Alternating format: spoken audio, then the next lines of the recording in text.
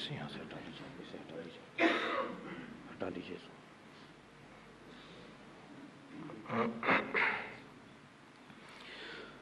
اعوذ باللہ من الشیطان الرجیم بسم اللہ الرحمن الرحیم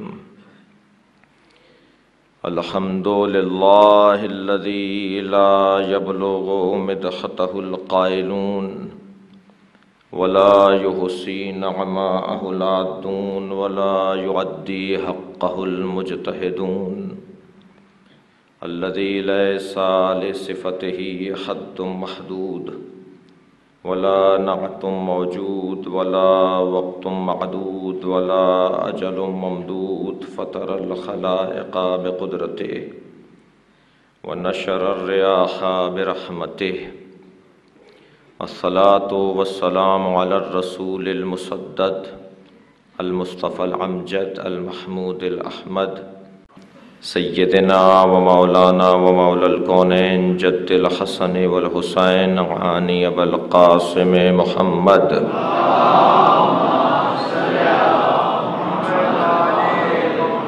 وآلہ الطیبین الطاہرین المعصومین الذين قال الله إنما يريد الله ليذهب عنكم الرجس أهل البيت ويطهركم تطهيرا.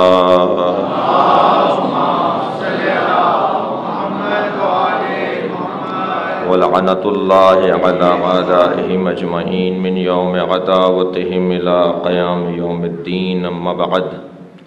فقد قال الحكيم في قرآن الكريم بسم الله الرحمن الرحيم. السلام علی یوم ولدت و یوم عموت و یوم ابعث حیا صلوات.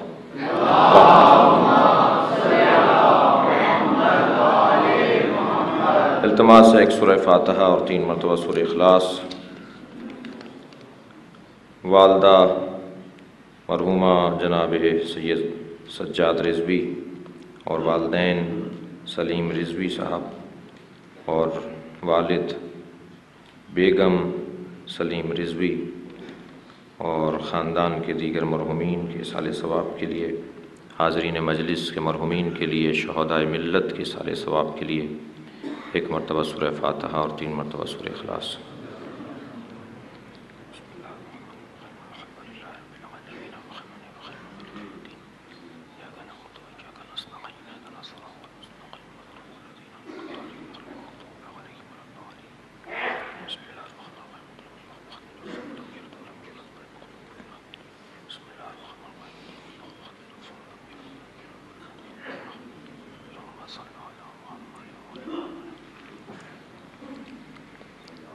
سورہ مبارک مریم کی تینتیسویں آیت، جسے ایک مرتبہ پھر اپنے محترم سننے والوں کے سامنے تلاوت کیا۔ حضرت عیسیٰ اپنے روز ولادت، روز رحلت اور روز بعثت یا قیامت میں کھڑے ہونے کے دن کو یاد کرتے ہوئے اس پر سلامتی بھیج رہے ہیں۔ غور کر رہے تھے وارث انبیاء مولا امام حسین کی سیرت کے کچھ پہلوؤں پر اور بہت بڑا وسیع دسترخوان دے دیا امام ششم نے ہمیں کہ تم ان چھ نبیوں کو دیکھتے رہو اور حسین کی معرفت حاصل کرتے رہو۔ اور یہ چھ نبی ایسے نہیں ہیں کہ جن میں کوئی پہچانتا نہ ہو، جن کی تاریخ گم ہو، جن کی سیرت مفقود ہو۔ یہ چھ نبی وہ ہیں کہ جن کی زندگی کو اللہ نے قرآن مجید میں بہت وسیع انداز سے ہم تک پہنچایا ہے۔ اور ان نبیوں کی سیرت مختلف محاذوں کی سیرت ہے۔ ایک محاذ کے لڑنے والے نہیں تھے۔ ایک انداز جہاد نہیں تھا ان انبیاء کرام کا کہ جن کا نام زیارت وارثہ کے آغاز میں آیا ہے۔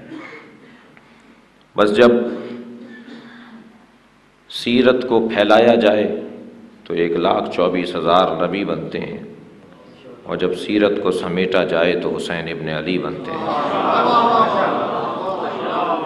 اور تمام تمام تر کرداروں کا مجموعہ خود امام حسین کی ذات ہے۔ اور اگر ہم قصص انبیاء سے ان انبیاء کرام کا تذکرہ بھی کہ جن کا ذکر قرآن میں نہیں آیا ہے اور آئمہ نے بیان کیا ہے ان کا ذکر، اسے بھی امام حسین کی سیرت کے آئینے میں اور ان دونوں کو ایک دوسرے کے لیے آئینہ قرار دیں تو ایک بہت وسیع موضوع ہے حسین کی معرفت کا۔ عزیزان گرامی، در حقیقت امام حسین کی ایک شخصیت ہے اور ایک حسین کا شخص ہے۔ ایک خاندانی پس منظر ہوتا ہے اور ایک ذاتی پس منظر ہوتا ہے۔ حسین اس باکمال ذات کو کہتے ہیں، جس کا خاندانی پس منظر بھی متحر ہے اور جس کی سیرت بھی اعلیٰ ہے۔ اور ہر اعتبار سے اور ہر زاویے سے ایک انسان کامل۔ اور امام کی بارگاہ میں میں اور آپ آجزانہ انداز سے حاضری دے رہے ہیں۔ اور یہ وہ بارگاہ ہے کہ جس بارگاہ میں مسلسل اولیاء کرام اور خاص طور پر صاحب العصر اس بارگاہ میں اپنی حاضری دیتے ہیں۔ ہر شب جمعہ امام کربلا ہوتے ہیں۔ چار ہزار فرشتے ہیں جو حسین ابن علی کے حرم پر پہرہ دار ہیں۔ اور یہ اس وقت سے پہرہ دار ہیں کہ جب امام کی شہادت ہوئی تھی۔ ادھر جنہوں نے مدد کرنے کے لیے امام سے فرمایا اور امام نے انکار کر دیا۔ ادھر فرشتے چلے آسمان سے اور اپنے اپنے مقامات سے۔ اور جب امام حسین نے ان سے مدد نہیں لی تو اللہ سے انہوں نے پوچھا، یا اللہ، اب ہم کیا کریں؟ کہ قیامت تک حسین کے مزار پر پہرا دو۔ اس مزار کی خدمت کرو۔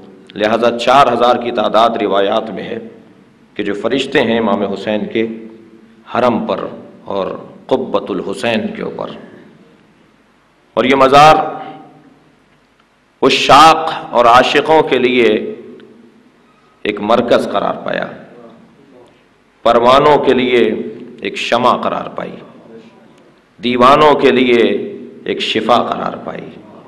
یہ در حقیقت علم کے متلاشی لوگوں کے لیے ایک مرکز و مہد علمی قرار پایا۔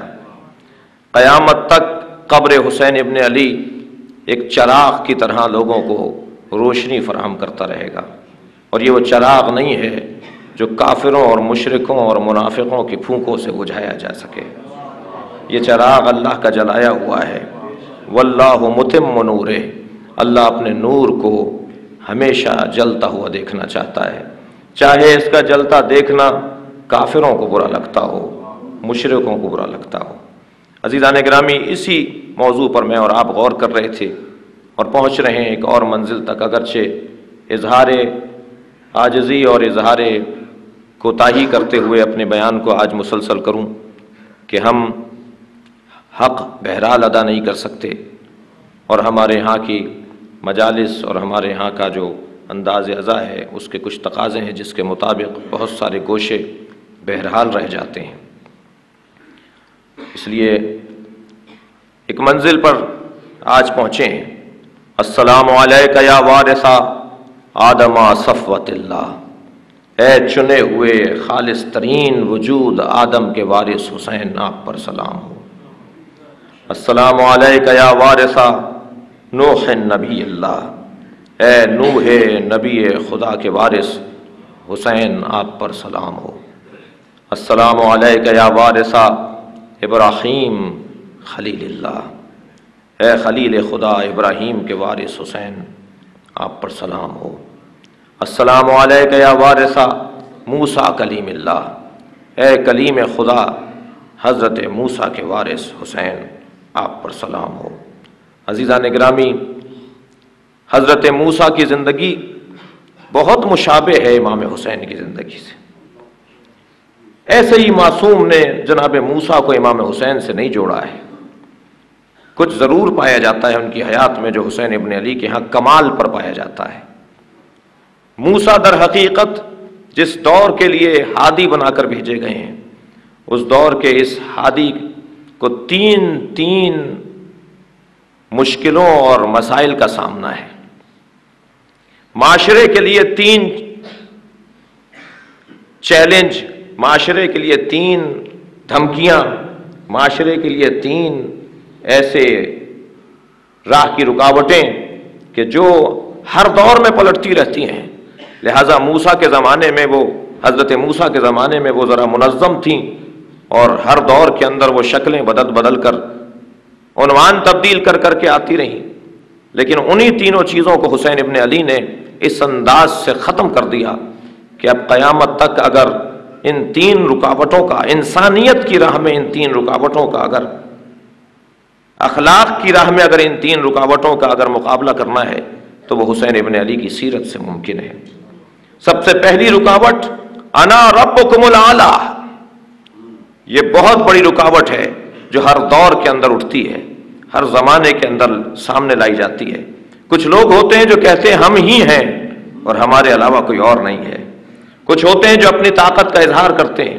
حضرت موسا کے زمانے میں ایک ایک مسئلہ اور ایک جہاد کا محاذ حضرت موسا کے لیے یہ تھا کہ ایک شخص کہتا ہے کہ میں نہ صرف یہ کہ رب ہوں تمہارا بلکہ سب سے بڑا رب ہوں تمہارا۔ اور لوگوں کا آب و دانا بند کر دیتا ہے، لوگوں کی غذاؤں پر پابندی لگا دیتا ہے، لوگوں کو جب چاہتا ہے مار دیتا ہے، جسے چاہے چاہتا ہے چھوڑ دیتا ہے۔ جس کو آج کی زبان میں آپ ڈکٹیٹر کہہ لیجیے جس کے جس کو آج کی زبان میں آپ ظالم بادشاہ کہہ لیجیے جو صرف ایک آنکھ سے دیکھتا ہو، جس کی صرف ایک دید ہو، جو صرف اپنے آپ کو اور اپنے مفاد کو جانتا ہو، جو اپنے مفاد کی خاطر ساری دنیا کو تباہ کر دیتا ہو، جو چند کھڑکیوں کے ٹوٹ جانے پر جگہ جگہ جنگ برپا کر دیتا ہو۔ جو ایک خود ساختہ حملے کی بنیاد پر دنیا بھر کو بے چین کر دیتا ہو اور شاید وہ حملہ بھی خود کروایا ہو اور پھر اس انداز سے پوری دنیا کو مسترب کر دیتا ہے۔ وہ ہر دور کے اندر ایک وجود رہا ہے کہ جو یہ آواز بلند کرتا ہے، انا رب کو مجھ سے بڑا کوئی اور نہیں ہے۔ اور جب بھی یہ نعرہ بلند ہوتا ہے تو اس زمانے میں موسا سامنے آتے ہیں اور اب قیامت تک حسین کا ذکر سامنے آئے گا۔ جو ہر ڈکٹیٹر کا قلع کما کرتا چلا جائے گا۔ ایک سلوات بھیجے محمد و آل محمد۔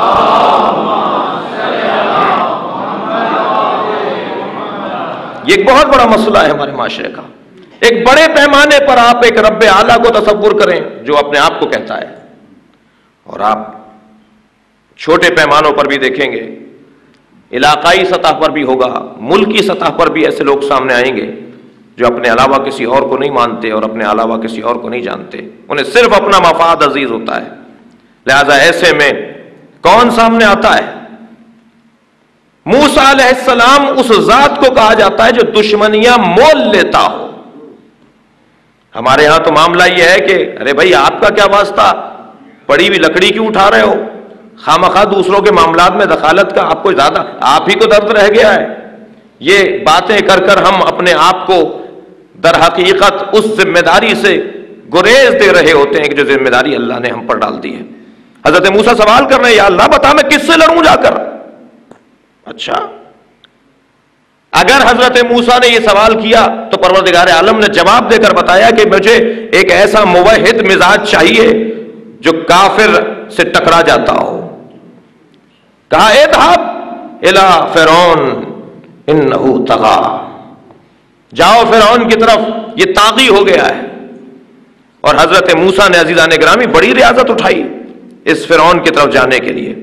لہذا سب سے بڑا مسئلہ معاشروں کے اندر، اور آپ اس زمانے میں کیونکہ بارش سے موسا ہے حسین علیہ السلام، لہذا اس زمانے کے اندر اگر آپ دیکھ رہے ہیں کہ ایک ہے جو ڈکٹیٹر ہے، ایک ہے جو اپنے علاوہ کسی اور کو جانتا اور مانتا نہیں ہے، تو عزیزان گرامی بہت ہی مشابہت ہے، اسے فرعون کہتے ہیں، اسے یزید کہتے ہیں۔ اسے موسا کہتے ہیں، اسے حسین کہتے ہیں۔ یہ دور بھی بالکل وہی ہے۔ اس کا باپ اسے مشورہ دے رہا تھا کہ خبردار حسین سے بیعت مت مانگنا۔ وہ کچھ سیاستدان اس سے بہتر تھا۔ بلکہ مولا نے تو سیاستدان اسے نہیں بولا۔ مولا نے کہا کہ وہ جو کر رہا ہے وہ شیطنت ہے۔ سیاست تو علی کرتی ہے، کرتا ہے۔ سیاست تو ہم کرتے ہیں۔ لہذا یہ کسی کو بھی حساب میں لانے والا نہیں ہے۔ اس نے امام حسین سے بھی بیعت مانگی۔ اتنی ضرورت یہ تمہارے ابا کو بھی حوصلہ اور ضرورت نہیں ہوئی، تمہارے بڑوں کو بھی ضرورت نہیں ہوئی کہ حسین ابن علی اس وقت کے حسین سے بیعت مانگتے۔ لیکن یہ بے وقوفی کی انتہا یا جہالت کی انتہا یا غرور و تکبر کی انتہا کہ حسین ابن علی سے بیعت مانگ لی اور اپنی شکست کو قیامت تک کے لیے مرخوم کروا دیا۔ لہذا بہت مشابہت میں ایک یہ کہ ہر زمانے میں اور امام حسین کے زمانے میں بھی ایسا مطلق العنان شخص کہ جو اپنے علاوہ کسی اور کو نہیں جانتا۔ اور دوسرا اس زمانے کی جو آزمائشوں میں سے ایک آزمائش ہے، لڑکوں کو زندہ چھوڑو۔ معاف کی جگہ لڑکوں کو قتل کرو اور لڑکیوں کو زندہ چھوڑو۔ جی؟ نہیں مارتے تھے لڑکیوں کو۔ وہ یستا یون اور عورتوں کو زندہ چھوڑ دیتے تھے وہ یوزب خون ابنا ابنا اور لڑکوں کو ذبح کر دیتے تھے۔ یہ بظاہر تو ہمیں ایسا دکھائی دے رہا ہے کہ حضرت موسا کی خاطر لڑکوں کو مارا جا رہا تھا۔ لیکن نہیں، یہ بے حیائی کی اگر انتہا دیکھنی ہو کسی معاشرے میں، تو اس بے حیائی کی انتہا کا ایک جلوہ یہ ہے کہ لڑکیوں کو دیکھو، لڑکوں کو نہ دیکھو۔ لڑکیوں کو رکھو، لڑکوں کو نہ رکھو۔ اسے اگر میں ممبر کا ادب ہے، لہٰذا میں اس سے زیادہ اس میں وضاحت نہیں کر سکتا۔ اگر کسی زمانے میں یہ دوبارہ پلٹ رہا ہو کہ لڑکیوں کی طرف توجہ ہو، عورتوں کی طرف توجہ ہو اور لڑکوں کی طرف توجہ نہ ہو، تو وہ دور در حقیقت فرعونی دور ہے۔ اور ازیان گرامی مجھے معاف کریں گے۔ خاتون کل بھی اسیر تھی، عورت آج بھی اسیر ہے۔ یہ سمجھ رہی ہے کہ اسے آزادی مل رہی ہے۔ اسے ابا نے اجازت دے دی۔ نہیں، اسیری کی قسم بدل گئی ہے۔ اسیری کا انداز بدل گیا ہے۔ پہلے ہاتھوں میں رسی ڈال کر اسیر کیا جاتا تھا۔ آج استعمال کر کے اسیر کیا جا رہا ہے۔ استعمال کا طریقہ بدلا ہے۔ آج ریسپشن پہ کھڑا کیا جاتا ہے تاکہ کسٹمر زیادہ آئیں۔ گاہک زیادہ ہیں خریدار زیادہ ہیں یہ اسیری نہیں ہے۔ اور اگر خدا نخواستہ ہم اپنی بچیوں کو مصروفیت کے نام پر، مصروفیت کے بہانے پر تعلیم حاصل کی ہے، اور تعلیم کو کہیں تو استعمال کرنا ہے، اس طرح کے دھوکہ، دہندہ ناروں کی بنیاد پر ہم اپنی بچیوں کو ایسے اداروں کے حوالے کر دیں کہ جہاں پر ٹکٹ بنا رہی ہوں بیٹھی ہوئی، مجھے نہیں معلوم کہ کوئی یہاں ٹکٹ سے وابستہ آدمی بیٹھا ہے۔ میں عمومی بات کر رہا ہوں، کوئی ریسپشن پہ بیٹھی ہو، کوئی ہوٹل کے ریسپشن پہ ہو، کسی ادارے کے ایسی جگہ پر کیوں وہاں بٹھایا جا رہا ہے؟ وہاں کیوں نہیں عزت سے بٹھاتے جو کمرے کے اندر بند کمرہ ہے؟ اکثر یہ ایک اسیری کی قسم ہے۔ لہذا خدا رہا خاص طور پر حسینی مزاج لوگ ایسے نہیں ہوں گے۔ بے حیائی، بے راروی، اوریانیت، فحاشیت، بد اخلاقی ہمارے معاشرے پر حاکم ہوتی جا رہی ہے۔ آخری مجلس میں رکھا ہے یہ بیان، اب کل مت آئیے گا آپ۔ البتہ کل آنا ہے آپ کو اس لیے کہ میں نہیں ہوں۔ ایک سلوات بھیجے محمد والے محمد۔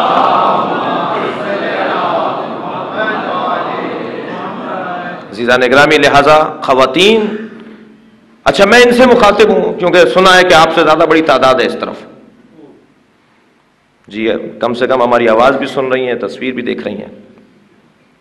بھئی یہ خود اپنے مسئلے کو حل کیوں نہیں کرتے؟ اپنے حقوق کی بات کرتی ہیں۔ حقوق میں تو بڑا وسیع موضوع ہے، بڑا وسیع مفہوم ہے۔ مولانا کیا کریں ابا کے گھر جب تک تھے؟ تو شوہر ابا کے گھر جب تک تھے تو ہمیں پردہ اور حجاب کا ہمیں موقع ملتا تھا اور اجازت تھی۔ شادی ہونے کے بعد تو شوہر نے کہا کہ چادر اتارو۔ دوستوں سے ملوانا ہے، پارٹیوں میں لے جانا ہے۔ پرانے زمانے کی عورتیں تھوڑی ہیں کہ برقعے پہنے اور چادریں پہنے اور حجاب کریں۔ لا لمخلوق فی معصیت الخالق۔ یہ حکم معصوم ہے۔ مخلوق کی اطاعت نہیں چلے گی جہاں اللہ کی معصیت ہو رہی ہو۔ شوہر کی اطاعت واجب ہے، لیکن جہاں اللہ کی اطاعت سے ٹکرا جائے شوہر کی اطاعت، وہاں نہیں چلے گی۔ کہ تم ٹی وی نہ آنے پر، فریج نہ آنے پر، کپڑے نہ آنے پر، زیور نہ آنے پر تو لڑائی کر لیتی ہو۔ یہ جو چادر اتوار ہیں، اس پہ لڑائی کیوں نہیں کر رہی؟ اس پہ اپنی بات کیوں نہیں منوا رہی؟ اور خواتین سے زیادہ بات منوانا کوئی جانتا ہے؟ تو ساری بات تو آپ منوا لیتی ہیں، یہ مسئلے میں آپ کیوں کمزور ہے اس کا مطلب ہے کہ آپ کے اندر اندر بھی کوئی کمزوری ہے، آپ میں بھی کوئی عیب ہے۔ آپ نہیں چاہتی ہیں، آپ کو بھی اچھا لگتا ہے کہ بے پردہ اور اریان اور بہرحال برے حال کے اندر آپ نامحرموں کے سامنے جائیں۔ لہذا خواتین کو چھوڑ دیا جاتا تھا، اس وقت کا ایک مسئلہ۔ یہاں بھی کیا ہوا؟ یزید نے محرموں کے ساتھ نکاح کو جائز کر دیا۔ پھوپھی کے ساتھ نکاح جائز، خالہ کے ساتھ نکاح جائز۔ کسی بزرگ کا بہت اچھا جملہ ہے کہ اگر کربلا نہ ہوتی تو حیا ہی نہ ہوتی۔ کربلا کا دوسرا نام حیا ہے، غیرت ہے۔ نسلوں میں اور سلبوں کے اندر نجاستیں کوٹ کوٹ کے بھر جاتی، اس لیے کہ جہاں محرموں کے ساتھ قربت ہوتی ہو، وہاں پھر کیا نسل باقی رہے گی؟ وہی وہی مسئلہ جو وہاں حضرت موسا کے زمانے میں، وہی امام حسین کے زمانے میں۔ اور عزیزہ گرامی تیسرا مسئلہ جو اس زمانے میں تھا، وہ تھا کہ قد افلح اليوم من استعلا، جس کی لاٹھی اس کی بحث۔ یہ محاورہ ہماری زبان کے اندر ہے، یہ اس زمانے کا مسئلہ تھا۔ کہ جس کا زور زورہ زیادہ ہے، جس کے ہاتھ میں طاقت زیادہ ہے، وہی بات منوائے گا۔ ہم نے کراچی کے ایک بڑے اجتماع کے اندر ایک ذمہ دار کی موجودگی میں ہم نے کہا، ہم نہیں چاہتے پاکستان کے اندر یہ سیاست نافذ ہو، کہ جس کی لاٹھی اس کی بحث۔ حق کی بنیاد پر بات ہونی چاہیے، انصاف کی بنیاد پر بات ہونی چاہیے، صلاحیت کی اور معیار کی بنیاد پر بات ہونی چاہیے، جو سچ کہ منطق کی بنیاد پر بات ہونی چاہیے۔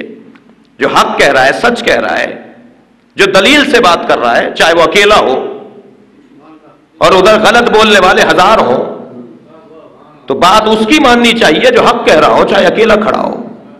لیکن یہ کیا معیار ہوا کہ جس کی تعداد زیادہ، جو بدتمیز زیادہ، جو اسلحے کا استعمال زیادہ کرتا ہو، جو معاشرے میں فساد پھیلاتا ہو، جو بے ادبیاں کرتا ہو، گالم گلوچ دیتا ہو، پورے پاکستان کی دیواروں کو غلیظ ناروں سے بھر دیتا ہو، تم اسے ڈرتے ہو؟ ہم سے بات کرو، ہم دلیل کے مطابق بات کرنا چاہتے ہیں۔ لہذا پاکستان کے اندر آج کا مسئلہ بھی ہمارا یہی ہے۔ اور وہاں میں نے عرض کیا تھا کہ اگر یہی ہے اور اسی سیاست کو آپ چاہتے ہیں کہ پاکستان میں نافذ رہے، تو آٹھ ربیع الاول تک، آٹھ ربیع الاول تک ہماری ہماری لاٹھی بھی بڑی موٹی ہے۔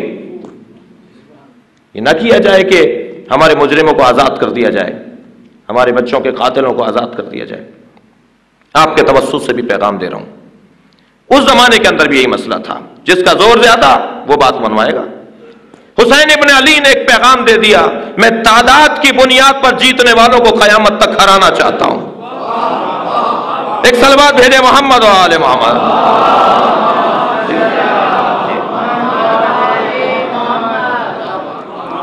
قیامت تک اب وہ جیتے گا جو حق کی بات بولے گا، جو منطق سے بات کرے گا، استدلال سے بات کرے گا۔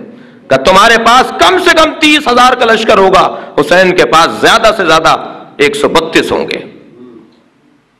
حسین کے پاس کم سے کم بہتر ہوں گے، تمہارے پاس کم سے کم تیس ہزار ہوں گے۔ تو ہم طے کر دیں گے کہ اب فیصلہ تعداد کی بنیاد پر نہیں ہونا۔ ہم نے مفہوم فتح شکست کو تبدیل کر دیا۔ اب فتح اس بنیاد پر نہیں ہوگی جس نے سر اٹھا لیا، کاٹ کر وہ جیت گیا۔ ہم فتح اب اس عنوان سے دیں گے کہ بات کس کی مانی گئی؟ حق پر کون تھا؟ تم نے ہاتھ مانگا تھا، سر تھوڑی مانگا تھا۔ ہم نے ہاتھ تمہیں نہیں دے دیا دیا۔ ہم نے تمہیں سر دے دیا۔ عزیزان گرامی، یہ تیسرا مسئلہ حضرت موسا کے زمانے میں۔ اور یہ مسئلہ امام حسین بھی بارے سے موسا کی حیثیت سے حضرت کے یہاں بھی پایا جاتا ہے۔ حضرت موسا کے زمانے میں ایک بہت بڑا، ایک اخلاقی اور ایک اقداری، ایک حسن پایا جاتا ہے۔ اور وہ حسن خواتین کا کردار۔ ام موسا اخت موسا ماں بیٹی کا کردار۔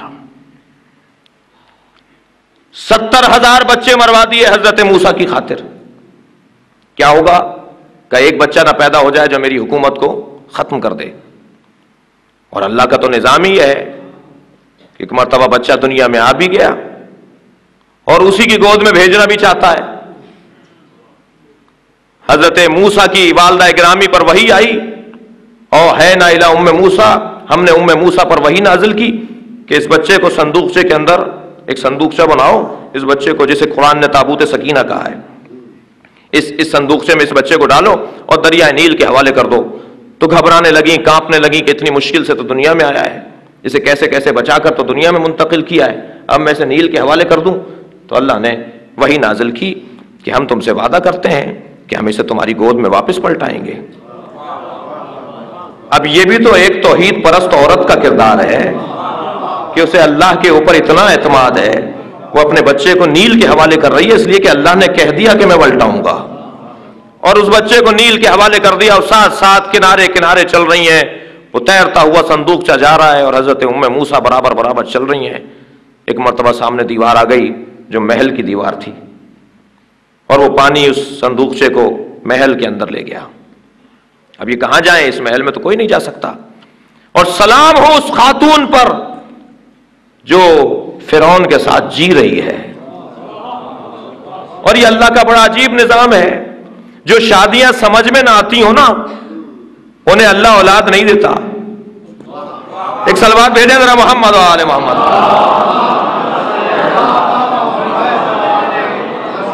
اس سے اونچی سلوات ہدیہ کریں گے۔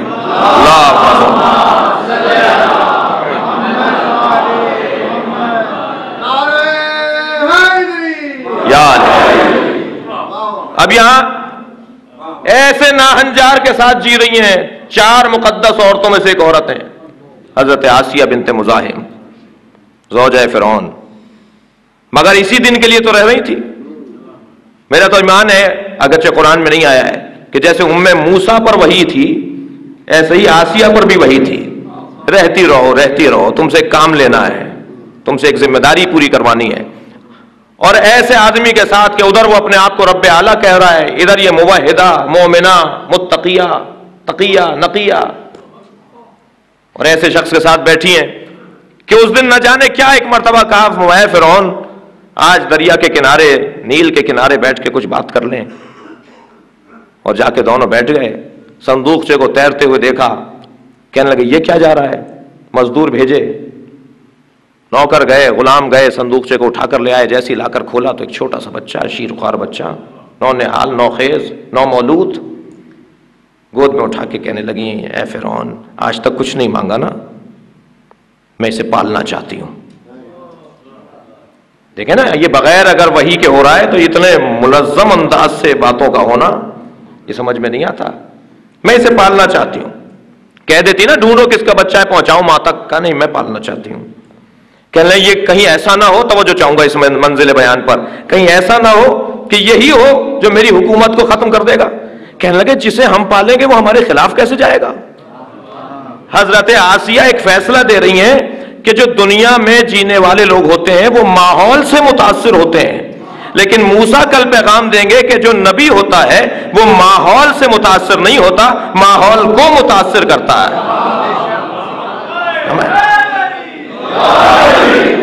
اب گود میں پالا اور یہی موسا ہے۔ وہاں پلے ہیں، جوان ہوئے ہیں حضرت موسا بہرحال، ایک خاتون کا کردار یہاں مکمل نہیں ہوتا۔ وہاں بچے کو بھوک لگتی ہے۔ کس کو کس کو لائیں؟ بہرحال، آنکھوں پہ پردہ پڑا ہوا ہے۔ اب یہ طے کر لیا اسے پالنا ہے، کچھ عورتوں کو لے کر آئے۔ حضرت موسا ان کے قریب نہیں ہوئے۔ یہاں میں گریز لینا چاہتا ہوں۔ میں نے کل بھی اپنی قوم کو معتدل بنانے کے لیے جی اور اپنی قوم کے بعض افراد کو جذباتیت سے ذرا ٹھنڈک کی طرف لانے کے لیے ایک پیغام دیا تھا۔ اور آج بھی ایک پیغام دے رہا ہوں۔ ایک بڑی تعداد ہے جو مدینہ منورہ میں جب حج اور عمرے کے لیے جاتی ہے۔ تو پاکستان کی ایک بڑی تعداد حضرت حلیمہ کی قبر پہ سلام کرنے نہیں جاتی۔ کیوں نہیں جا رہی؟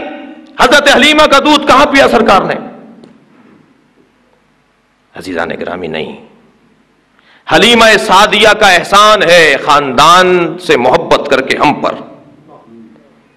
حلیمہ سعدیہ کی زیارت نامہ مفات الجنان میں موجود ہے۔ حلیمہ سعدیہ جنہوں نے نبی مکرم کو گود میں اٹھایا، ان کا زیارت نامہ آئمہ نے پڑھا ہے۔ یہ جاہلانہ باتیں ہیں، جیسے کل ایک بات کی طرف میں نے اشارہ کیا تھا۔ ظہور اور ولادت کا مسئلہ۔ ٹھنڈا پڑے۔ آپس میں نہیں لڑیں ان مسئلوں پر۔ آپس میں لڑائیاں نہیں ہونی چاہیے۔ حضرت حلیمہ سعدیہ نے فرض کیجیے، میرا بھی عقیدہ ہے، دودھ نہیں پلایا۔ حضرت حلیمہ نے دودھ نہیں پلایا۔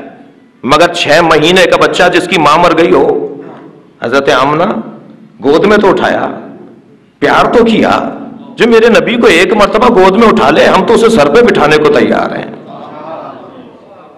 نبی مکرم سے پیار تو کیا، محبت تو کی۔ یہ تو طے ہے۔ نہیں انہوں نے نہیں کیا، پھر کس نے کیا؟ بتائیے، آپ بتا دیے چھ مہینے کے چھوڑ کے گئی ہیں حضرت آمنا چھ مہینے کے ہیں سرکار دو جہاں، حضرت حلیمہ سعدیہ نے گود میں نہیں اٹھایا، کپڑے نہیں بدلائے، پیار نہیں کیا، پانی نہیں پلایا، غذا نہیں کھلائی، تو کس نے کھلائی وہ بتا دیجیے۔ حضرت حلیمہ سعدیہ نے کیا؟ نہیں، چھ مہینے بھائی، چھ مہینے چھ مہینے۔ جی چھ مہینے۔ نبی حضرت حضرت عبداللہ ولادت سے پہلے رحلت کر گئے حضرت آمنہ چھ مہینے بعد رحلت کر گئی ہیں۔ مسلم تاریخ۔ جی چلے گئے آپ نام بتا دیجیے کہ جنہوں نے دودھ پلایا یا انہیں پالا۔ اگر ہمارے نبی سے محبت کا اظہار کیا ہے تو وہ ہمارے سر پر بٹھانے کے قابل عورت ہے۔ اور آگے بڑھیے حلیمہ سعدیہ کی بیٹی ہے حر سعدیہ۔ جنگ صفین میں ایک ٹیلے پر کھڑے ہو کر مولا کے لشکر کو شجاعت اور بہادری کا پیغام دیتی ہے۔ بہت مدت بعد مولا کی شہادت کے بعد بسرے کے گورنر نے جب ظلم کیے تو مردوں کا اجتماع ہوا۔ مولا کے چاہنے والے مردوں کا اجتماع ہوا کہ اس مرد سے، اس حاکم سے، گورنر سے کیسے جان چھڑائی جائے۔ تو طے یہ پایا کہ امیر شام تک شکایت پہنچائی جائے۔ تو کوئی مرد جرت نہیں رکھتا تھا امیر شام کے پاس جا کر شکایت کرنے کی۔ تو یہی عورت تھی حر سعدیہ۔ حضرت حضرت حلیمہ سعدیہ کی بیٹی۔ اور اس نے کہا کہ میں جاؤں گی اور حاکم شام سے جا کے احتجاج کروں گی۔ اور پہنچی ہے اکیلی یہ خاتون۔ اور شام پہنچی ہے جب دربار میں، تو درباروں نے کہا کہ دربانوں نے کہا، کہاں جا رہی ہو؟ کہ جا کے امیر کو بتا دو ہو رہا ہے شادی آئی ہے۔ کہ پہلے سے وقت، پہلے سے کوئی طے شدہ، کہ نام بتانا صرف جا کے۔ اور واقع جب نام پہنچا امیر شام کے پاس تو ایک نمبر کھڑا ہو گیا کہ بلا لو اسے اندر۔ لوگ پوچھ لگے، کون ہے؟ کہ تم نہیں جانتے؟ جب جنگ صفین میں علی کے لشکر میں سے ایک تعداد راہ فرار اختیار کر رہی تھی، تو یہی تو وہ عورت تھی جو ٹیلے پہ کھڑی ہو گئی تھی اور علی کا حق بجانب ہونے کا خطبہ دے رہی تھی۔ جاتا ہوا لشکر پلٹ کر واپس آ گیا تھا۔ اس نے تو علی کے جنگ کو کا نقشہ بدل دیا تھا۔ ہمارے خلاف تھی یہ خاتون۔ دیکھیں، آج آئی کیوں ہے ہمارے پاس؟ کہنے کیوں آئی ہو؟ کہ تمہارے گورنر نے ظلم کیا ہوا ہے۔ کالی مر گئے نا جب ہی آئی ہو ہمارے پاس تو ایک مرتبہ آنکھوں میں آنسو بھر کے کہتی علی نہیں مرے، عدالت مر گئی۔ جو مجھے آج تیرے پاس آنا پڑا ہے۔ کہ اچھا عدالت مر گئی، ہم بھی عدالت کریں گے۔ تم اسے معذول دیکھنا چاہتی ہو، ایک پروانہ منگایا، ایک کاغذ منگایا، اس کے اوپر لکھ دیا کہ ہم اسے معذول کرتے ہیں۔ کہ دیکھو، ہم بھی تو عدالت کرتے ہیں، ہم بھی تو عدل کرتے ہیں، ہم بھی تو انصاف کرتے ہیں۔ کہنے لگی اللہ کی خاطر عدل کرنے والا علی ہے۔ اور عزت بچانے کے لیے عدل کرنے والا کوئی اور ہے۔ اتنی جرت یہ حضرت حلیمہ سعدیہ کی بیٹی ہے۔ اس خاندان نے اہل بیت کے ساتھ اپنی محبت کا اظہار کیا ہے۔ اور ہم بڑے آرام سے مشرقہ کا دودھ نہیں پی سکتے۔ بھائی، کہاں سے طے کیا آپ نے مشرقہ ہے آپ کے پاس کوئی دلیل ہے؟ کافرہ کا دودھ نہیں پی سکتے۔ یہ کہاں سے طے ہوا کہ کافر ہیں؟ چلیں، ایک فیصد مان لیتے ہیں کہ اگر ایسا کہیں ثابت بھی ہو جائے۔ پیار تو کیا ہمارے نبی کو؟ محبت تو دی ہمارے نبی کو۔ لہذا ان سے نفرت کیوں کی جاتی ہے ہمارے یہاں دوسرا نام حضرت بلال کا ہے۔ ان کی قبر پر جا کر پاکستان کا ایک طبقہ ازاداروں کا اور زائرین کا ان کی قبر پہ جا کے بے حرمتی کرنے لگا ہے۔ معتدل بنائیے اپنے مزاج کو۔ اگر یہ کہتے ہیں، دلیل کیا ہے ان کے پاس؟ حضرت بلال کی قبر شام میں۔ ان کی قبر پہ جا کے بے ادبی کرنے لگے ہیں ہمارے پاکستان سے بعض زائرین۔ اور دلیل کیا ہے؟ دلیل یہ ہے کہ بیوی بی کو چھوڑ کر چلے گئے تھے۔ اللہ اکبر، بھائی، تم جیسا کوئی وہاں ہوتا تو پھر ہم دیکھتے کہ کس خیمے میں بیٹھے ہو۔ جرت کی بات تھی۔ سلمان فارسی جیسا تین دن تک نہیں آیا بی بی کو سلام کرنے۔ چار شیعہ رہ گئے تھے۔ باتیں کرنا عقیدت کا اظہار کرنا، اپنے سے زیادہ کسی کو مولائی نہ سمجھنا، یہ شاید بہت آسان کام ہے۔ میدان عمل جب آئے گا۔ جب کردار کا مرحلہ آئے گا تو پھر اپنے آپ کو پیش کرنا بہت مشکل ہے۔ چار شیعہ رہ گئے تھے، اہل بیت کو سب چھوڑ گئے تھے۔ جگر کی بات تھی اس زمانے کے اندر اہل بیت کا ساتھ دینا۔ معمولی بات نہیں تھی۔ ان چار شیوں میں بھی سلمان فارسی تین دن تک نہیں آئے بی بی کے گھر۔ اور جب تین دن کے بعد یہ واقعہ ہوا بی بی پہ دروازہ جلانے کا بی بی کے محسن کی شہادت، مولا علی کے گلے میں رسی کے بندھنے کا، اس کے بعد تین دن کے بعد سلمان آئے۔ تو بی بی نے گلا کیا، سلمان تم نے بھی چھوڑ دیا میں تو روئے ہیں سلمان دروازے پہ کھڑے ہو کے، معافی مانگی ہے بی بی سے۔ کہ نہیں بھی اب شکایت نہیں ہوگی آپ کو۔ پھر سلمان کبھی کوئی ناغا نہیں کیا سلمان نے بی بی کو سلام کرنے میں۔ روزانہ دروازے پر آ کر بی بی سے کام پوچھتے تھے، خدمت مانگتے تھے بی بی سے۔ بلال چھوڑ کر چلے گئے۔ اور بلال تو غم میں پیغمبر کے چھوڑ کر گئے تھے۔ اور نبی کی رحلت کے پچہتر دن بعد بی بی کی شہادت ہوئی ہے نا۔ تو بلال پچہتر دن کے اندر ہی پلٹے ہیں نا۔ تبھی تو اذان کے ہلوائی بی بی نے۔ اور بی بی سے محبت نہ ہوتی تو بلال بی بی کے کہنے پہ اذان کہتے۔ پیغام بھیجا بلال سے کہو، مجھے اذان سنائے۔ کسی نے آ کے بتایا کہ بلال کو دیکھا گیا ہے شہر میں۔ کہا، بلال سے کہو، مجھے اذان سنا ہے بلال نے اذان کہی تو بی بی کا وہ واقعہ پورا آپ نے سنا ہے کہ بی بی مسترب ہوئیں، غش کھا کر گر گئیں جب اپنے بابا کا نام سنا۔ یہ بلال کی محبت نہیں تھی بی بی سے۔ بی بی سے، اس زمانے میں اذان کہنا ایسے دور کے اندر حکومت کی مسجد میں جا کر، بھائی حکومت بھی وہی تھی، مسجد بھی وہی تھا، دربار بھی وہی تھا، مسجد بھی وہی تھی، وہاں کھڑے ہو کر بی بی کی فرمائش پر اذان کہنا یہ ضرورت کی بات نہیں ہے۔ لہذا معتدل بنائیے اپنے لوگوں کو، سمجھائیے ان بچوں کو، جوانوں کو، لوگوں کو۔ یہ اچھا انداز نہیں ہے۔ ادھر حضرت ام موسا کو بلا لیا اور بچے کو گود میں لے لیا۔ اور بچے نے دودھ پی لیا، حضرت موسا نے۔ پلٹا دیا نا اللہ نے۔ ہم پلٹائیں گے تمہارے بچے کو تمہاری گود میں۔ اور حضرت ام موسا کی گود میں آ گئے حضرت موسا اور وہاں ایک بہن کا کردار بھی، اس لیے کہ کیسے گئی ہیں یہ دربار میں؟ ایک بہن دروازے پہ کھڑی ہو گئی، ام کلثوم نام ہے حضرت موسا کی بہن کا۔ جا کے کہتی ہیں، مجھے معلوم ہے، ایک عورت ہے اس شہر کے اندر جو دودھ پلا سکتی ہے۔ کہنے لے آؤ اسے۔ بہن کا کردار۔ کوئی اس زمانے میں حضرت موسا کی بہن دربار میں جا رہی ہیں۔ تو اس زمانے میں حسین ابن علی کی بہن دربار میں جا رہی ہیں۔ بڑی مماثلت ہے دونوں میں۔ السلام علیکہ یا وارثہ عیسیٰ روح اللہ۔ سلام ہو۔ روح خدا عیسیٰ کے وارث حسین ابن علی پر۔ تھک تو نہیں رہے آپ لوگ؟ سلام ہو حضرت عیسیٰ کے وارث حسین ابن علی پر۔ یہاں بھی بڑی مماثلت ہے۔ حضرت عیسیٰ کے پاس دو چیزیں ہیں۔ ایک دم عیسیٰ ہے۔ جی اور ایک احساس عیسیٰ ہے۔ دم عیسیٰ اور ہے، احساس عیسیٰ اور ہے۔ کلما احسا عیسیٰ منہم الکفر۔ حضرت عیسیٰ کو جب یہ احساس ہونے لگا کہ اب کفر جگہ بنا رہا ہے۔ تو حضرت عیسیٰ نے پوچھا، کون ہے جو من انصار اللہ؟ کون ہے اللہ کے انصاری؟ قال الحواریون نہن انصار اللہ۔ تو ہواریوں نے کہا کہ ہم ہیں اللہ کے مددگار۔ عیسا مدد تو اپنے لیے مانگ رہے ہیں، مگر وہ کہہ رہے ہیں کہ ہم اللہ کے مددگار ہیں۔ اس لیے کہ عیسا کا کام اللہ کا کام ہے۔ ادھر حضرت عیسیٰ نے جب مددگاروں کو پا لیا تو یہاں حضرت عیسیٰ کفر کو مٹانے کے لیے آگے جا رہے ہیں۔ یہ احساس عیسیٰ ہے۔ جب معاشرے سے احساس مٹ جائے، تو وہی دن معاشرے کی موت کا دن ہوتا ہے۔ ایک ہے دم عیسیٰ، ایک ہے احساس عیسیٰ۔ مردے کو زندہ کرنا یہ دم عیسیٰ ہے، اور ملت کو زندہ کرنا یہ احساس عیسیٰ ہے۔ کہ یہ مردہ جسے زندہ کر دیا، یہ تو بہرحال پھر کچھ دن بعد مر جائے گا۔ حضرت عیسیٰ نے جن مردوں کو زندہ کیا تھا کہ آج تک زندہ ہے؟ مر گئے نا؟ بدن کو زندہ کرنے کا بہرحال ایک کرشمہ اور ایک قدرت اور ایک معجزہ۔ لیکن حضرت عیسیٰ کے پاس صرف بدن کو زندہ کرنے کی صلاحیت نہیں تھی، بلکہ معاشرے کو مرنے سے بچانے کی صلاحیت تھی۔ کہ جب حضرت عیسیٰ نے محسوس کیا کہ اب کفر آ رہا ہے، اس لیے کہ کفر یعنی معاشرے کی موت۔ معاشرہ جب مردہ ہو جائے تو اسے کفر کہا جاتا ہے۔ تو حضرت عیسیٰ نے مددگار مانگے اور وہاں عیسیٰ مددگار مانگ رہے ہیں یا حسین کہہ رہے ہیں المن ناصر ینصرنا؟ المن مغیث یغیثنا؟ کوئی ہے جو میری مدد کرے؟ ادھر بھی کہا نانو انصار اللہ، ہم ہیں اللہ کے مددگار. اور ادھر بھی بہتر نے بڑھ کر کہا کہ ہمیں اللہ کے مددگار۔ فرق اتنا ہے کہ عیسیٰ علیہ السلام کی پکار ختم ہو گئی، مگر حسین ابن علی کی پکار آج بھی باقی ہے۔ اور قیامت تک باقی رہے گی۔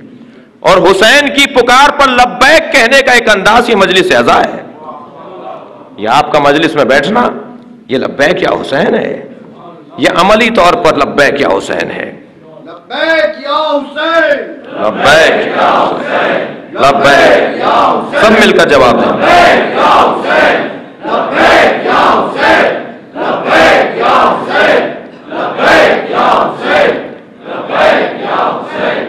وہاں دم عیسیٰ بھی ہے اور احساس مسیح بھی ہے اور یہاں امام حسین بھی۔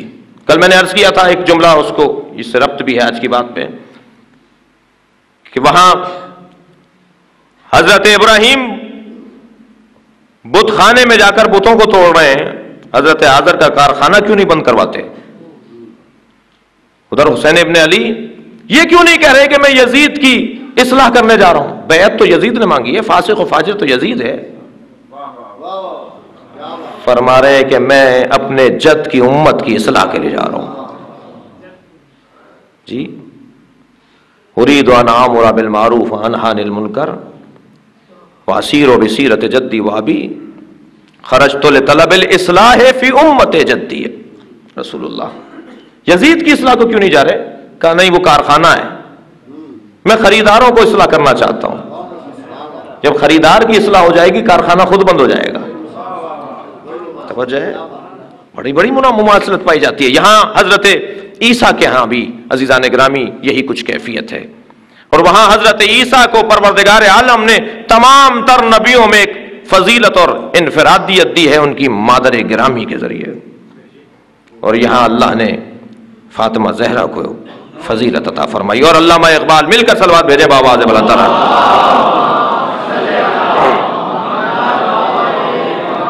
جب جناب فاطمہ زہرا کو یاد کرتے ہیں، تو اسی مماثلت سے اور اسی منسبت سے یاد کرتے ہیں۔ عیسیٰ، مریم از یک نسبت عیسیٰ عزیز۔ نسبت حضرت زہرا عزیز۔ حضرت مریم کی ایک فضیلت ہے کہ وہ عیسیٰ کی ماں ہے اور زہرا کی تین فضیلتیں ہیں۔ زہرا سہ نسبت، حضرت زہرا سہ نسبت عزیز۔ نور چشم رحمت للعالمین، پہلی نسبت۔ آمادہ ہے آپ سننے کو؟ نور چشم رحمت، علامہ اقبال، نور چشم رحمت للعالمین۔ پہلی نسبت یہ ہے کہ وہ رحمت للعالمین کی نور چشم ہے۔ ہاں امام اولین و آخرین۔ وہ نور نور، وہ رحمت اللہ عالمین جو امام اولین و آخری پہلی نسبت۔ دوسری نسبت فرماتے ہیں، بانوے آن تاج دار العطا۔ سلوات بھیجے محمد۔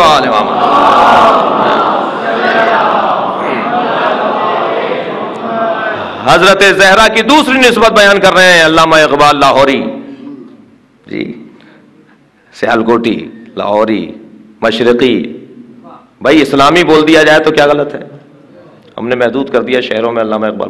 جی فرماتے ہیں بانوے ان تاجدار حلتا مرتضا مشکل کشا، شیر خدا۔ یہ دوسری نسبت یہ ہے، اور فرماتے ہیں، تیسری نسبت یہ ہے، مادر آن، مرکز پرکار عشق۔ تیسری نسبت یہ حسین ابن علی کی ماں ہے۔ اور حسین ابن علی اسے کہتے ہیں جو مرکز پرکار عشق ہے۔ مادر آن، مرکز پرکار عشق۔ مادر آن، کاروان سالار عشق۔ یہ اس کی ماں ہے جو عشق کے کاروان کا سالار ہے۔ اب قیامت تک اگر عشق کی داستان چلے گی تو حسین سے چلے گی۔ اور پھر ایک اور مصرا اور دو مصرے اس کے اندر فرماتے ہیں مزرع تسلیم را حاصل بطول۔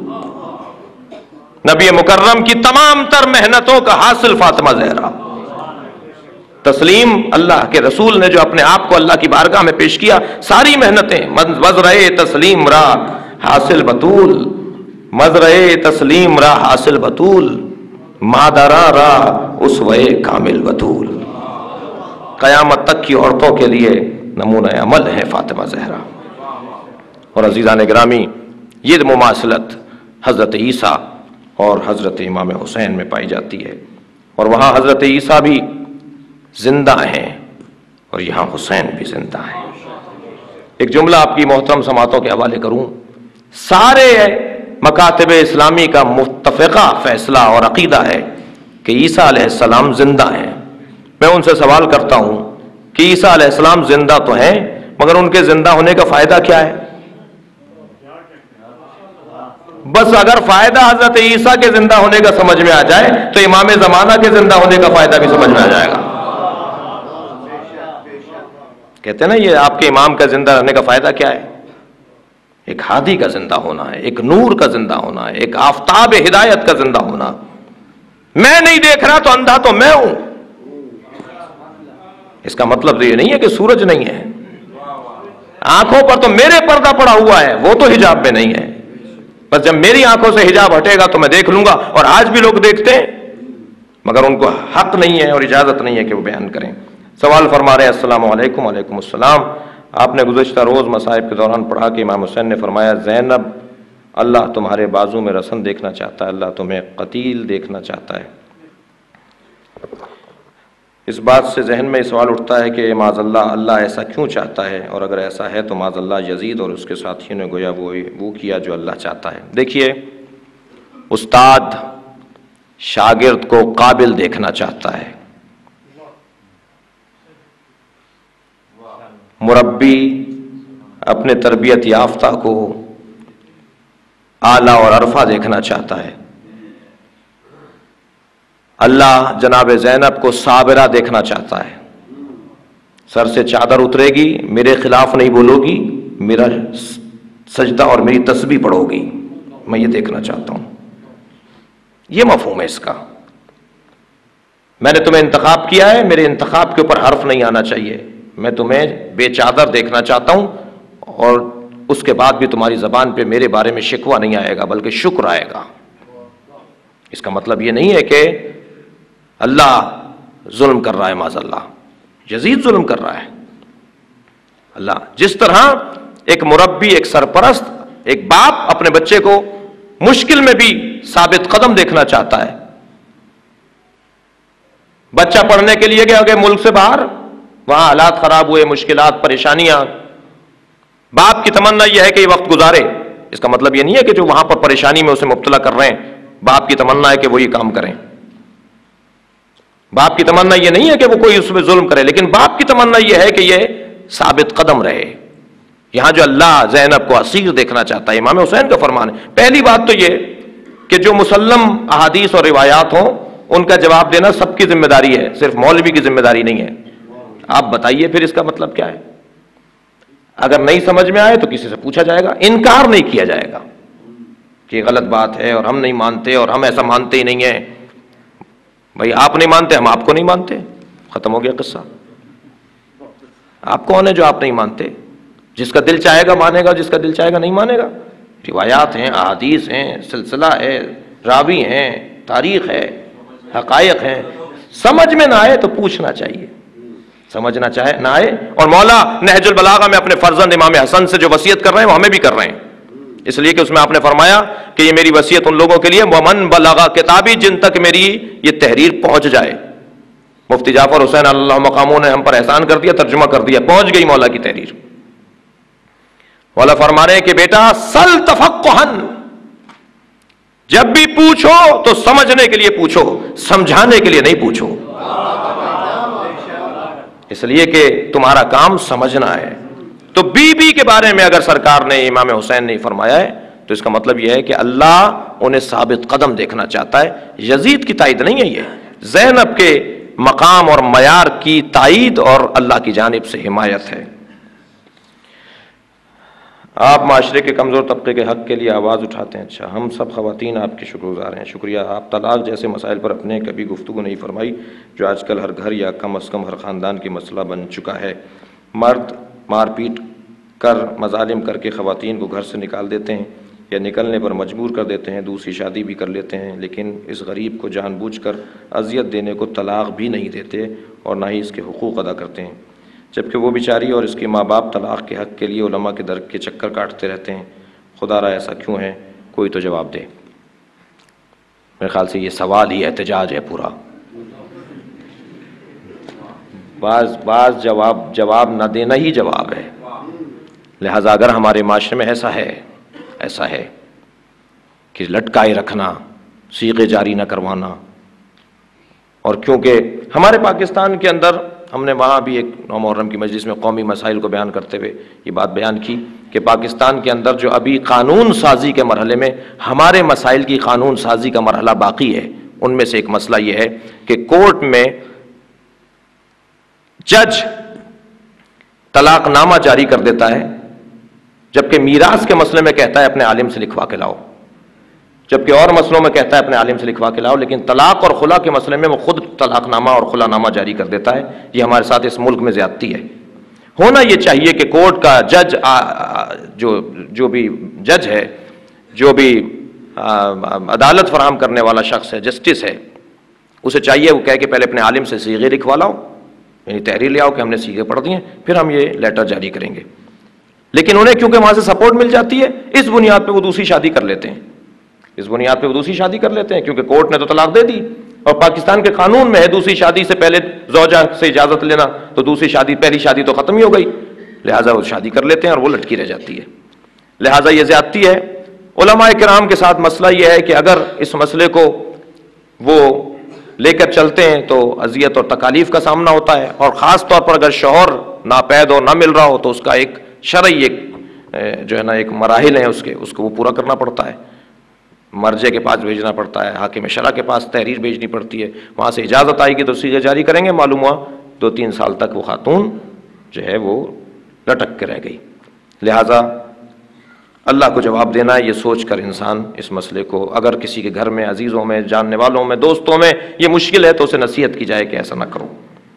ہم انتہائی عقیدت سے ہر مجلس اعضاء میں حاضر ہوتے ہیں، لیکن کئی جگہ مجلس سن کر کانوں کی کو انگلیاں لگا کر واپس آتے ہیں، کیونکہ ذاکر یا مولانا صرف غیر شائستہ زبان استعمال کرتے ہیں اور جذبات اور عقائد سے کھیلتے ہیں۔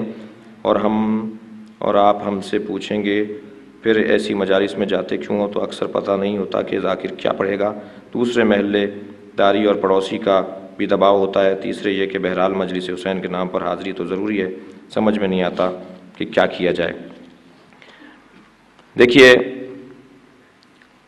بہت اگر ایسا ہو تو ایک ٹائم سے جائیں کہ وہ مصائب کب شروع کرے گا۔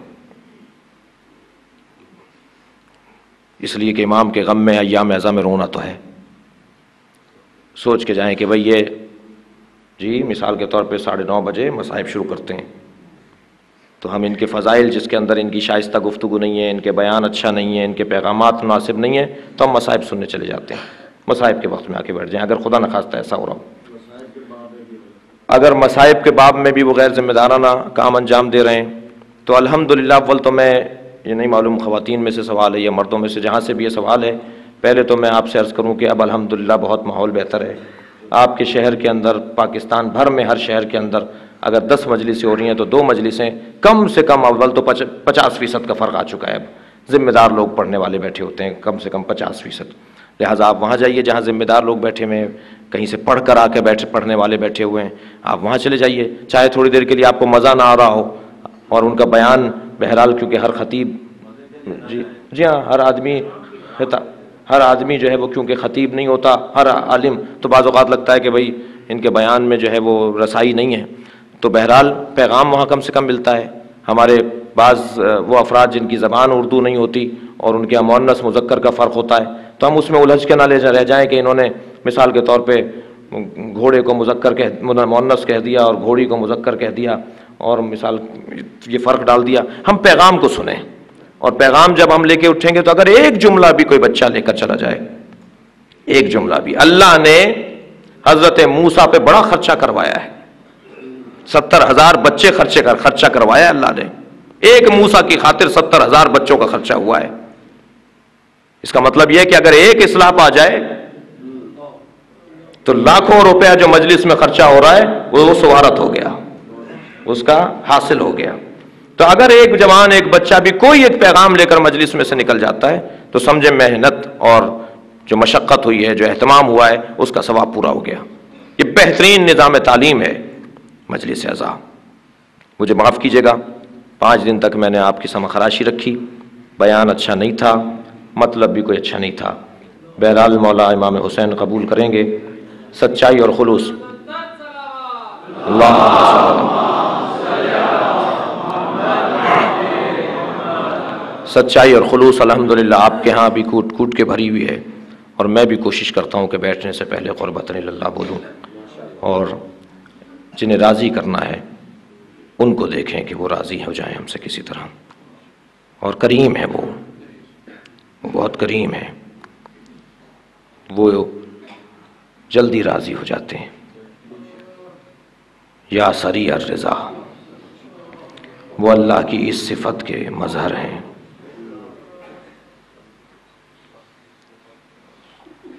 ہے جلدی راضی ہو جانے والے۔ چلیں آج کی مجلس میں امام حسین کی بارگاہ میں چلیں۔ ہر روز کی طرح مولا، اگر میری گناہوں اور میری کوتاہیاں اور میری کوتاہیوں اور میرے گناہوں کا آپ کو کے پاس پیغام پہنچا اور آپ میرے اس عمل سے ناراض ہیں، تو آج آپ کو میں زینب کا واسطہ دیتا ہوں۔ اس بی بی کا جسے شام کے شہر میں داخل کیا جا رہا ہے۔ مولا مجھے توفیق کا، مجھے توفیق ہے، توبہ عطا فرمائیں میں آج آپ کی بارگاہ میں آپ کی مجلس کے اندر بیٹھ کر اپنے گناہوں کی توبہ بھی کر رہا ہوں۔ مگر میرے پاس کچھ نہیں ہے سوائے جناب زینب کی مصیبت کے بیان کے۔ حضرتارو سلام ہو اس بی بی پر، جس کے ہاتھ بندھے ہوئے تھے۔ جس کے بچوں کے سر نو کے نیزہ کی انیوں پر جمع تھے۔ جس کے بھائی کے سر کو نیزے کی انی پر اٹھایا ہوا تھا۔ امام سجاد سے کسی نے مدینے میں پوچھا، مولا، سب سے زیادہ مصیبتیں کہاں آئیں؟ فرمان لگے، الشام الشام الشام۔ سب سے زیادہ مصیبت ہم پر شام میں آئی ہے۔ پوچھنے والے نے پوچھا، مولا انہیں مصیبتوں کا تذکرہ فرمائے فرمانے لگے کہ جب ہم دروازہ شام پر پہنچے شہر کے دروازے پر پہنچے، سنے گے نازدارو، تین دن تک ہمیں روکے رکھا۔ دروازہ شام پر، شہر کے باہر، بیویوں کو، بچوں کو، اسیروں کو تین دن تک روکے رکھا۔ ایک مرحلہ تو ایسا آیا کہ چھوٹے چھوٹے بچے، میری بہن سکینہ جب مسترب ہوئی تو میں نے بیڑیاں، ہتکڑیاں سنبھال کر شمر سے پوچھا، ہمیں کب لے کر جاؤ گے؟ تو کہنے لگا، ابھی شہر سجایا جا رہا ہے۔ اجرکم اللہ، خدا کسی غم میں نہ رلائے سوائے غم اہل بیت میں۔ امام فرماتے ہیں کہ ہمیں تین دن کے بعد جب شہر میں داخل کیا گیا، تو ہمیں بازاروں سے اور کوچوں سے گزارا جانے لگا۔ جب ہمیں شہر میں داخل کیا گیا تو فجر کا وقت تھا، اور جب ہم دربار یزید میں پہنچے تو مغرب کا وقت تھا۔ سارے دن ہمیں کوفے کے بازار اور کوفے کے رستوں میں رکھا گیا۔ اور اس سارے دن میں کسی نے پانی نہیں پوچھا۔ کسی نے غذا نہیں پوچھی اور اس کیفیت میں ہم شام کے بازار سے گزر رہے تھے، شام کی گلیوں سے گزر رہے تھے۔ امام فرمانے لگے، شام میں سات ایسی مصیبتیں آئی ہیں جنہیں میں بھلا نہیں پاتا۔ فرمایا، سب سے پہلی مصیبت یہی کہ ہمیں کھڑا کر دیا گیا۔ میں بھول نہیں پاتا کہ ہم تین دن تک دروازے پر کھڑے رہے۔ فرماتے، دوسری بڑی مصیبت یہ تھی کہ ہمیں شام کے بازار میں ایسے کھینچا جا رہا تھا جیسے غلاموں کو کھینچا جاتا ہے۔ فرماتے تیسری بڑی مصیبت یہ تھی کہ چھتوں سے انگارے اور پتھر پھینکے جا رہے تھے ازاداروں کوفے کے بازار میں اور شام کے بازار میں ایک فرق ہے۔ کوفے میں چھتوں سے کھجورے پھینکی جا رہی تھی اور شام سے چھتوں سے، شام میں چھتوں سے پتھر اور انگارے پھینکے جا رہے تھے۔ امام سجاد فرماتے ہیں، اے رونے والے، اے سننے والے، جب ایک چھت سے انگارے پھینکے گئے، تو ایک انگارہ میرے سر پر آ کر رک گیا۔ میں پکارتا رہا، میرا سر جل رہا ہے، مگر کسی نے میرے سر سے انگارہ نہیں ہٹایا۔ اجرکم اللہ، آپ کی آوازیں بلند ہو رہی ہیں، تکلف کر کے نہیں رویا زیادہ رو۔ جب مجلس میں آوازیں بلند ہوتی ہیں، امام جعفر صادق دعا دیتے ہیں، یا اللہ، ان آوازوں پر رحمت نازل فرما، جو میرے جد حسین ابن علی پر گریا کر رہے ہیں۔ امام محمد باقر دعا دیتے ہیں، امام رضا دعا دیتے ہیں رونے والوں۔ امام فرماتے ہیں، میرے سر پر ایک انگارہ آ کر گرا۔ میرا سر جلتا رہا، مگر میرے سر سے کسی نے انگارہ نہیں ہٹایا۔ امام فرماتے ہیں، چوتھی چوتھی مصیبت ہمارے لیے یہ تھی۔ امام فرماتے ہیں، ہمیں ایسی جگہ کھڑا کیا گیا جہاں غلاموں کو بیچنے کے لیے کھڑا کیا جاتا ہے۔ روایت یہاں مکمل نہیں ہوئی امام فرمانے لگے، ایک شخص نے میری بہن سکینہ کی طرف اشارہ کیا۔ سکینہ مجھ سے آ کر لپٹ گئی۔ بھیا، یہ نہیں سوچا تھا کہ ہمیں کنیزی میں بھی مانگا جائے گا۔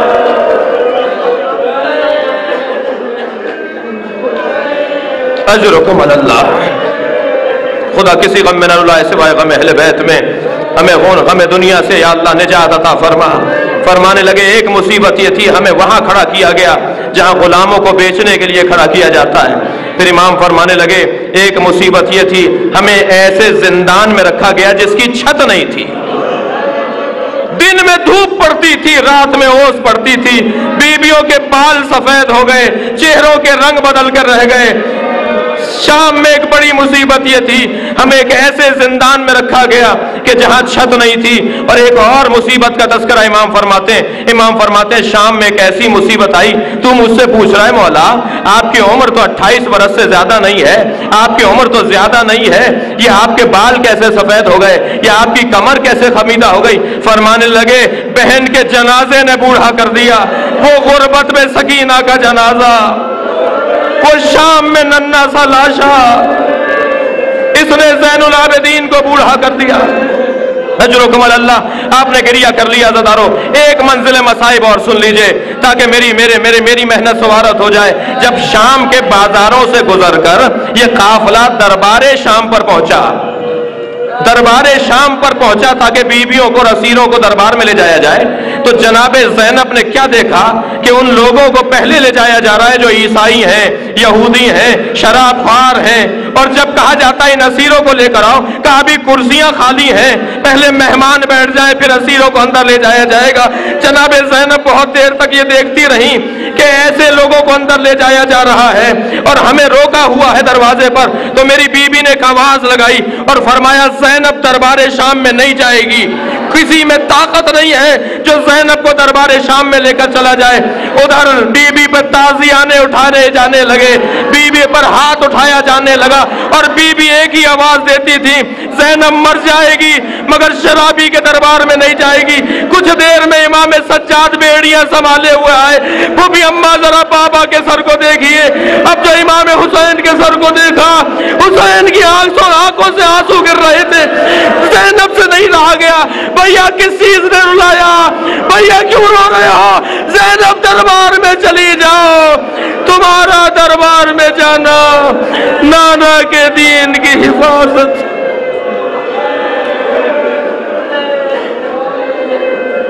ولا لعنت الله على قوم الظالمين فسيعلم الذين ظلموا اي منقلب یا اللہ ہماری اس عبادت کو قبول فرما، ان آوازوں پر رحمت نازل فرما، ان رونے والوں کی توفیقات میں اضافہ فرما۔ ہمارا انجام بخیر فرما، ہم سے اس عزاداری کو قبول فرما۔ آئندہ آنے والے بھی ایام میں ہم سے قبول فرما۔ امام زمانہ کے ظہور میں تعجیل فرما۔ قلب مبارک حضرت کو ہم سے راضی فرما۔ ایک سورہ فاتحہ، والدہ سجاد رضوی صاحب، والدین سلیم رضوی اور والد بیگم سلیم رضوی اور اس خاندان کے دیگر مرحومین کے لیے۔